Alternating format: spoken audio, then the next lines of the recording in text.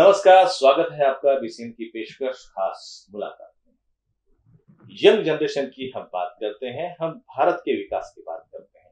लेकिन कहीं ना कहीं इसमें हमें बहुत सारी अड़चने दिखती हैं। वो अड़चने क्या है? अगर मैं यूथ के पॉइंट ऑफ़ व्यू से अगर देखूँ, एक बड़ा मुद्दा है एम्प्लॉयमेंट का। पढ़ लिख तो जाते हैं। पढ़ लिखने के बाद एक बड़ा चैलेंज होता है कि काम करें, नौकरी करें बिज़नेस करें या क्या करें।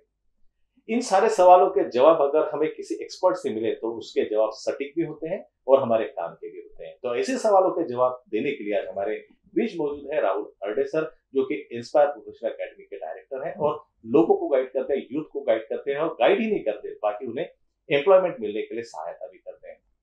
स्वागत करता हूँ राहुल सर का। सर आपका बहुत बहुत स्वागत है। थैंक यू रत्नाकर साहब। जैसे कि सर मैंने बात शुरुआत की थी कि एम्पावरमेंट या यूथ एम्प्लॉयमेंट एक चैलेंज है। क्या आप सच में इसको चैलेंज मानते हैं? Absolutely it is a challenge and बहुत uh, अच्छा चैलेंज है और लोगों के लिए ये चैलेंज एक्सेप्ट करके उसको सक्सेसफुल बनना बहुत ज़रूरी है। और ये चैलेंज इसलिए चैलेंज है कि लाइफ ही एक चैलेंज है। लाइफ को चैलेंज करके एक्सेप्ट करके उसको परफॉर्म करना ज़रूरी है उस पर एक्शन करना ज़रूरी है पॉजिटिवली सोचना ज़रूरी है। और वो चैलेंज को जीतना ज़रूरी है हर यूथ के लिए। और हर यूथ में एक चैलेंज एक्सेप्ट करने की क्षमता होना चाहिए, ऐसा मुझे लगता है। जब हम पढ़ लिख जाते हैं, आप एक प्रोफेशनल एकेडमी चलाते हैं, जहाँ पे आप चाहे वो जेंट्स हो या लेडीज़ हो जो यूथ रहते हैं पढ़ने लिखने के बाद में आपके पास में रजिस्ट्रेशन कराते हैं, जिनको आप कई जगह, विभिन्न जगहों पे आप उनको स्रोतों पर भेजते हैं एम्प्लॉयमेंट देने के लिए। तो क्या ऐसी वजह होती है कि इन्हें जो जॉब को ढूंढना पड़ता है। आ, मैं आपको पूरा विस्तृत जानकारी देना चाहूँगा इस बारे में। अपने ऑफ़िस को भी चौदह साल हो गए टोटल और यहाँ पे अपने यहाँ लाखों लोग आते हैं। डॉक्टर्स आते हैं इंजीनियर्स आते हैं वकील आते हैं सीए आते हैं PhD holder lecturer principal BA B com B सभी कैटेगरी के अपने यहाँ पे लोग आते हैं। तो उनको एक रोज़गार की और स्वयं रोज़गार के मार्गदर्शन की ज़रूरत होती है। लोग बहुत उम्मीद से मेरे पास पूरे भारत से आते हैं। तो उनको एक सही दिशा देना ज़रूरी है। तो उनको अपन उनकी पर्सनैलिटी जान लेते हैं उनका व्यक्तिमत्व जान लेते हैं उनकी आशा अपेक्षाएँ जान लेते हैं। फिर उनको उनके काबिलियत के हिसाब से उनके एजुकेशनल क्वालिफिकेशन के और एक्सपीरियंस के हिसाब से उनको अपन अलग अलग जगह रेफर करते रहते हैं। आज की डेट में अपने यहाँ से पैंतीस हज़ार से भी ज़्यादा लोगों को रोज़गार के अवसर प्राप्त हुए हैं। मेरे ख्याल से अपने आप में एक बहुत एक बहुत बड़ा मिसाल है और गूगल पे आप रिव्यूज़ भी देख सकते हैं। हज़ारों लोगों के गूगल पे रिव्यूज़ है। अपन एक बेस्ट जॉब प्लेसमेंट कंसल्टेंसी करके काम कर रहे हैं। अपन लोगों को एक सही दिशा देते हैं और सही जगह पे अपॉर्चुनिटी प्रोवाइड करते हैं। वहाँ पे लोग काम करते हैं, कुछ साल काम करते हैं, फिर अपने आप और आते हैं, फिर उनको और अलग अलग जगह पे अपन अपॉर्चुनिटी देते रहते हैं। तकरीबन पूरे भारत में अपन हज़ारों क्लाइंट को कंपनीज़ को मैन्युफैक्चरिंग कंपनीज़ को आईटी कंपनीज़ को बैंकिंग सेक्टर को स्कूल को कॉलेजेस को और ऑलमोस्ट सभी ऑर्गेनाइजेशन को और इंडस्ट्रीज़ को अपन स्टाफ सप्लाई करते रहते हैं। राहुल जी जैसा आप ये तो रिक्रूटमेंट तो करते ही करते रहते हैं, लेकिन कहीं ना कहीं जब आपके पास में ये जो लोग आते हैं, जो नौजवान या लड़के, लड़कियाँ दोनों आते हैं तो उन्हें किस जगह पे एम्प्लॉयमेंट चाहिए? या क्या है, कई कई बार हमने भी देखा है कि जब आप पूछते हो कि भैया, क्या काम आप करोगे? तो कुछ भी। तो ये सवाल कभी कभी मतलब क्या ये यूथ ये डिटरमाइन नहीं कर पा रहा है कि उसको आगे किस फ़ील्ड में जाना है? तो ये इसका गाइडेंस भी आप करते हैं। To be very honest with you 90 percent youth आज के डेट में कंफ्यूज है। उनको पता ही नहीं एग्जैक्टली उनको लाइफ में करना क्या है। इंजीनियरिंग uh, कर लेते हैं मैकेनिकल इलेक्ट्रिकल सिविल जो और आई में जाते हैं या और दूसरे कोई फ़ील्ड में जाते हैं जिनको मार्केटिंग करना पसंद नहीं है उनको पता नहीं एग्जैक्टली exactly क्या करना है। और थोड़ा एजुकेशनल सिस्टम में इसमें इम्प्रूवमेंट होना बहुत ज़रूरी है। जो उसके दिल को अच्छा लगता है, उसके दिमाग को अच्छा लगता है और वो जो उसने जो बचपन से सपना देखा है, वो उसको परफेक्टली गाइड किया जाए उनको काउंसल किया जाए, उसके दिल को अपन छू दिया जाए और उनको एग्जैक्टली आइडेंटिफाई कर दिया जाए, उसकी पर्सनल की स्ट्रेंथ को आइडेंटिफाई किया जाए तो मैं उनको परफेक्ट गाइड करता हूँ कि आपको ये फ़ील्ड में जाना है, ये फ़ील्ड में जाना है। और वो फ़ील्ड में हो जाते हैं तो काफ़ी सक्सेसफुल बनते हैं। फॉर एग्ज़ाम्पल ऐसे बहुत सारे यूथ हैं जिनको मैंने गाइड किया है और उससे, उस फ़ील्ड में आज लाखों रुपए महीना कमा रहे हैं। ऐसे बहुत यूथ है जिन्होंने एक सिंपल आई होल्डर में जॉब किया है, बाद में डिप्लोमा किया है, बाद में बी किया है, बाद में एम किया है। आज वो लाखों रुपए महीना कमा रहे हैं। ऐसे भी बहुत यूथ मेरे पास रजिस्टर्ड है और वो सक्सेसफुल है। तो एक सही दिशा देने का काम मैं करता हूँ।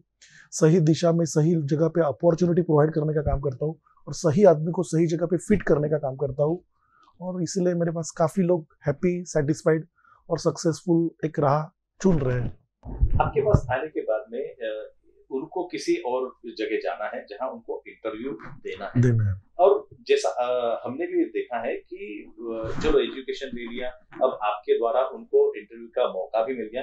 लेकिन जब वो इंटरव्यू के लिए जाते हैं तो कहीं ना कहीं उनका जो कॉन्फिडेंस लेवल है उसको भी बढ़ाना ज़रूरी होता है क्योंकि इंटरव्यू में सारी काबिलियत होने के बावजूद भी अगर हम इंटरव्यू में बात नहीं कर पाए या मैं क्या हूँ अगर ये हम प्रेजेंट नहीं कर पाए तो वहाँ से एक निराशा हाथ लगने की उम्मीद हो सकती है। तो ये इम्प्रूवमेंट टेक्निक भी आप पढ़ाते हैं? बिल्कुल। अपने क्या कैंडिडेट्स में कॉन्फिडेंस की बहुत कमी है। अपने पर्टिकुलर अपने एरिया में कॉन्फिडेंस और अच्छा एटीट्यूड डेवलप करने की ज़रूरत है। और सबसे ज़्यादा इंपॉर्टेंट है टेक्निकल एबिलिटीज और टेक्निकल कॉम्पिटेंसी जो लगती है, वो लैकिंग करता है। अपने जो एजुकेशनल इंस्टीट्यूट्स है और जो कंपनीज़ है कंपनीज़ को जो एडवांस टेक्नोलॉजी का जो नॉलेज एक्सपेक्टेड है जॉब लगने के लिए, वो इंस्टीट्यूट में है ही नहीं एक्चुअल में। तो वो इंस्टीट्यूट और इंडस्ट्री का जो इंटरेक्शन है वो अप्रोप्राइट नहीं है। इसलिए बेरोजगारी ज़्यादा है। जो इंस्टीट्यूट से फैक्ट्री निकल फैक्ट्री से जो बच्चे निकलते हैं उनको किताबी ज्ञान है वो भी अप्रोप्राइट नहीं है। वो एक नॉमिनल इंजीनियर बनते हैं नॉमिनल ग्रेजुएट बनते हैं लेकिन जो इंडस्ट्रीज़ के लिए जो टेक्निकल एबिलिटीज जो एक्सपेक्टेड है एक्चुअल जो एग्जीक्यूशन चाहिए वो उनके अंदर है ही नहीं। जो क्लासेस ओपन होते हैं, जो इंस्टीट्यूट ओपन होते हैं, जो कोचिंग क्लासेस होते हैं या ट्यूशन क्लासेस होते हैं, वहाँ पे भी जो फैकल्टीज है, वो उस लेवल का नहीं पढ़ा सकते, जिस लेवल का इंडस्ट्री को एक्सपेक्टेड है। तो मेरा एक सजेशन है यूथ को पर्टिकुलरली इंजीनियर्स लोगों को, कि उन्होंने इंडस्ट्री में आईटी इंडस्ट्री में या मैन्युफैक्चर जो भी कोई इंडस्ट्रीज़ में, जो टेक्निकल एबिलिटीज लगती है, वो डेवलप करने में फोकस रखे। और आज इसके लिए मेरे ख्याल से बहुत सारे रिसोर्सेज भी अवेलेबल है। ऑनलाइन रिसोर्सेज बहुत है यूट्यूब पे है ऑनलाइन एजुकेशन आप कर सकते हैं एडवांस टेक्नोलॉजी पढ़ सकते हैं लेटेस्ट टेक्नोलॉजी पढ़ सकते हैं। अपन आउटडेटेड एजुकेशन सिस्टम में जा रहे हैं जो मैं यही सवाल हाँ, आपसे पूछने वाला जी, था कि क्या आप ये समझते हैं आप इतने सालों से रिक्रूटमेंट कर रहे हैं काफ़ी जो आपके पास में जो यूथ आता है वो विविध फ़ील्ड से आता है। हम्म। तो कहीं ना कहीं इस आमूलाग्र बदल की आप धारणा रखते हैं कि अपने एजुकेशन सिस्टम को कहीं ना कहीं बदलना चाहिए? एब्सोल्युटली एवरी कॉलेजेस देयर है कोई भी कॉलेज रहे उन्होंने एडवांस टेक्नोलॉजी को अडॉप्ट करते हुए इंडस्ट्री से इंटरेक्ट करते हुए इंडस्ट्रियल गेस्ट लेक्चर ऑर्गेनाइज करते हुए स्टूडेंट को डेवलप करना चाहिए। स्टूडेंट को टेक्निकल एबिलिटीज को डेवलप करने में प्रोत्साहन देना चाहिए, उनके अंदर एम्प्लॉयमेंट और सेल्फ एम्प्लॉयमेंट की कैपेबिलिटी बढ़ाने के लिए इवेंट्स करना चाहिए। डिपार्टमेंट होता है, लेकिन वो डिपार्टमेंट एग्जीक्यूट नहीं कर पाता, इसलिए बेरोजगारी ज़्यादा है। एक्चुअल में स्टूडेंट को यूथ को प्रॉपर गाइडेंस नहीं मिल पा रहा है, और इसी वजह से अनएम्प्लॉयमेंट बढ़ रहा है। तो प्रॉपर गाइडेंस देने के लिए एक्सपर्ट की ज़रूरत, सहायता लेना चाहिए। इंडस्ट्रीज़ में ज़्यादा से ज़्यादा लोगों को इंटरव्यू देना चाहिए। मैक्सिमम वो लड़का यूथ मैक्सिमम जगह जब इंटरव्यू देगा, तब उसको समझ में आएगा कि मार्केट में क्या चल रहा है और वो कहाँ पे है। तो वो जाके अपनी कैबिलियत बढ़ाएगा, टेक्निकल कॉम्पिटेंसी बढ़ाएगा, अच्छे से इंटरव्यू देगा और रोज़गार प्राप्त करेगा। एक यूथ को एक नौकरी लगती है तो उसका पूरा फैमिली हैप्पी होता है। तो उसको एक पॉजिटिव एंगल से सोचते, उसका एटीट्यूड और कॉन्फिडेंस बढ़ाने की ज़रूरत है, ऐसा मुझे लगता है। आपने ये जो बात कही कि हमें कई जगह पे इंटरव्यू देने जाना चाहिए, लेकिन इसके पीछे जो एक मानसिक भावना है और वो बहुत इंपॉर्टेंट मैं सवाल आपसे पूछ रहा हूँ। ये मानसिक तौर पर एक साइकोलॉजिकल क्वेश्चन है आपके लिए कि जब हम मल्टीपल जगह पे जाएँगे तो कई बार हमको रिजेक्शन का सामना करना पड़ेगा। तो रिजेक्शन हैंडलिंग जो होता है हम्म। मानसिक तौर पर ये बहुत बड़ा सवाल है। तो ये रिजेक्शन हैंडल यूथ ने कैसे करना ये यूथ जो है 21 साल से लेकर 35 40 साल तक अपन बोल सकते हैं तो यूथ में निगेटिविटी बहुत जल्दी आ जाती है। अगर रिजेक्ट होता है कोई कंपनी में इंटरव्यू जाता है रिजेक्ट होता है क्योंकि एक ही वैकेंसी रहती है दो तीन वैकेंसी रहती है और सौ दो सौ लोग इंटरव्यू देते हैं। तो रिजेक्शन आ रहा है तो उसने फ्रस्ट्रेट नहीं होना चाहिए लेकिन फ्रस्ट्रेट होते ही है ऑलमोस्ट लोग। तो क्या करते हैं वो लोग एक ड्रग्स लेते हैं या सिगरेट पीते हैं या दारू पीते हैं और कुछ करते हैं फ्रस्ट्रेट होते हैं एडिक्शन हो जाते हैं निगेटिव हो। जाते हैं फ्रस्ट्रेट हो जाते हैं। तो मेरा उनको एक सलाह है आप हमारे जैसे मोटिवेटर के पास आइए। हम आपको री एनर्जी देंगे। Re energy in terms of motivation देंगे इंस्पिरेशन देंगे पॉजिटिव एटीट्यूड डेवलप करेंगे। जो आदमी असफल होता है, वो पहली पायरी होती है सफल बनने की। तो दस बार रिजेक्ट होता है तो ग्यारहवा बार तो सक्सेस मिलेगा। आपने हिम्मत नहीं हारना चाहिए। नेवर गिव अप तो एक एबिलिटीज डेवलप करके फिर से और ट्राई करना चाहिए। ऐसे बहुत लोग हैं जो सौ बार फेल होके, हज़ार बार फेल होके सक्सेस मिलता है। तो सक्सेस मिलना ही है। जो यूथ का जन्म हुआ है, वो सक्सेस मिलने के लिए हुआ है। ऐसा मैं सोचता हूँ। हिम्मत ना होते हुए पॉजिटिव वीडियोस देख के पॉजिटिव इंस्पिरेशनल मोटिवेशनल यूट्यूब पे वीडियोस देखते अच्छे लोगों के संगत में रह के और अपने माँ बाप को नमस्कार करके, अपने माँ बाप को सुन के निगेटिव लोगों से दूर रह के, हमारे जैसे मोटिवेटर के पास अगर आप आते हैं और नए से प्रयास करते हैं तो डेफिनेटली 200 परसेंट आपको सक्सेस मिलेगा ही मिलेगा। राहुल जी, एक तो बात होगी एम्प्लॉयमेंट की, जहाँ हम लोगों को अपॉर्चुनिटीज़ प्रदान करते हैं, जहाँ उनको नौकरियाँ मिल सके। और कुछ यूथ आपके पास में ऐसे भी आते होंगे या आप एज अ सर्विस प्रोवाइडर आप क्या समझते कि इस यूथ ने एक सेल्फ एम्प्लॉयमेंट भी होना चाहिए, खुद के बिज़नेस के लिए आप क्या इंकरेज एब्सोल्युटली स्टार्टअप यूथ को करना बहुत अच्छी ज़रूरत है। हर लोग नौकरी करेंगे हर आदमी अगर नौकरी करेंगे तो, तो देने, वाला, देने वाला नहीं रहेगा। तो नौकरी देने वाला भी बनना चाहिए। तो उसके अंदर का इंटरप्रेनरशिप कैपेबिलिटी उसके अंदर डेवलप करना ज़रूरी है। गवर्नमेंट स्कीम्स बहुत है जहाँ गवर्नमेंट महाराष्ट्र गवर्नमेंट या सेंट्रल गवर्नमेंट स्टार्टअप के लिए बहुत प्रोत्साहन देता है। लोगों को पता ही नहीं है। तो उद्योग केंद्र जो है, वहाँ पे जाके इन्फॉर्मेशन लेना चाहिए एम से कांटेक्ट करना चाहिए, या गवर्नमेंट स्कीम के बारे में जानना चाहिए गवर्नमेंट ऑफिसर से मिलना चाहिए बैंक बैंक मैनेजर से मिलना चाहिए। और हमारे जैसे लोगों के पास भी आप आके नॉलेज ले सकते हैं, एक अच्छा प्रोजेक्ट स्टार्ट कर सकते हैं, कोई भी प्रोजेक्ट स्टार्ट करें चाय की दुकान से लेके या कोई भी बिज़नेस स्टार्ट कर सकते हैं, पर उसके अंदर वो जज्बा जानना ज़रूरी है। मेरे हिसाब से वो जज्बा बहुत कम लोगों में होता है, वो पहचान के उसको प्रोजेक्ट करना ज़रूरी है उसको डेवलप करना ज़रूरी है। वो आग लगनी चाहिए उसके अंदर। और उसके लिए राहुल हड्डे सर जैसे मेंटर का होना बहुत ज़रूरी है। बस वही अपना सौभाग्य है। एक मेरा अपना पर्सनल सवाल है जितना मैं आपको जानता हूँ तो आपके एक हॉबी में से एक हॉबी है पॉलिटिक्स और आपने पॉलिटिक्स में भी अपना हाथ आजमाया और आपको अच्छा प्रतिशत मिला।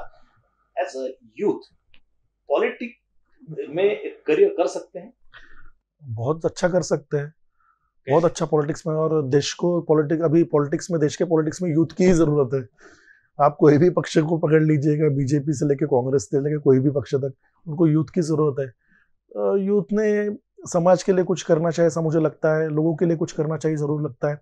लोगों के लिए करोगे अच्छा करोगे, समाज के लिए करोगे तो पॉलिटिकल पार्टीज़ आपके पास आएँगी, आपको खुद होकर टिकट देंगी, आपको कुछ मांगने की ज़रूरत नहीं है। मुझे ऐसा लगता है कि आपने ऐसा कर्तृत्व करना चाहिए कि जो भी पॉलिटिकल पार्टीज़ है वो आपको अप्रोच करें और आपको टिकट दें और आप चुन के एमएलए बने एमपी बने या कुछ भी बने मंत्री बने।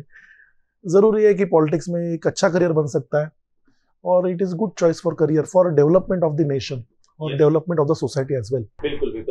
चलते मैं आपको यही जो यूथ जो है, जो एक अच्छे, बेहतर भारत की तरफ़, और हम आज जिस जगह बैठे हुए हैं तो भारत भी एक साइंस के क्षेत्र में बहुत अच्छी प्रगति कर रहा है। चांद्रयान थ्री ने अपना मिशन पूरा किया है, और आज ही जो है आदित्य एल वन का भी प्रसारण बहुत सक्सेसफुल हुआ है। तो ऐसे पार्श्वभूमि में आप यूथ को आगे बढ़ने के लिए किस तरह से प्रोत्साहित करेंगे? Go ahead simply trust your parents trust your abilities identify the inner potential inside you and go ahead जो भी फ़ील्ड में आप करियर करना चाहते हैं, उसमें तन, मन, धन लगा के करियर करें। पढ़े, आगे बढ़े नॉलेज एक्वायर करें और ज़िंदगी में कामयाब होना। आपका जन्म ही सिर्फ़ कामयाब होने के लिए मिला है। एक ही बार अपने को जो ज़िंदगी मिली है, वो सिर्फ़ कामयाब होने के लिए मिली है और आपके माँ बाप को हैप्पी करने के लिए मिली है। मेरी सब यूथ को और पूरे देशवासियों को आपके प्लेटफॉर्म के ज़रिए हार्दिक शुभकामनाएँ। आज से नई ज़िंदगी शुरू करते हुए कामयाब होने के लिए आगे बढ़ने के लिए सतत निरंतर प्रयास करते रहिए। तो ये थे हमारे साथ में राहुल हरडे जी, जो कि इंस्पायर प्रोफेशनल एकेडमी के डायरेक्टर हैं।